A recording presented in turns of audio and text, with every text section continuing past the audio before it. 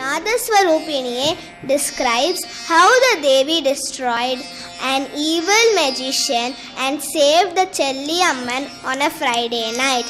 Hence, the Siruvachur temple is only open on Friday and Monday of the week.